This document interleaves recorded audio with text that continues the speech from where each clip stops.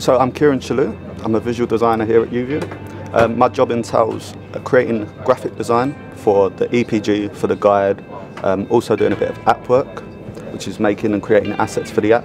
It's the whole visual um, aspect of the company, really. Everything from business cards to what you see on screen. When, when there's an upgrade, everyone notices because it's, it's the way that you connect to the platform. You don't connect through touch or through type like you would on a computer. You're just seeing it visually. So it has to be the best that it could possibly be.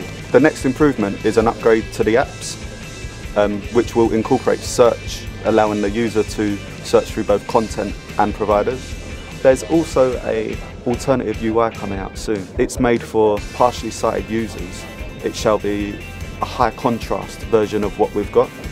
So for anyone partially sighted, it's a lot easier to use and working with various charities such as the RNIB and Scope, it's given us the ability to tailor our UI for a partially sighted audience.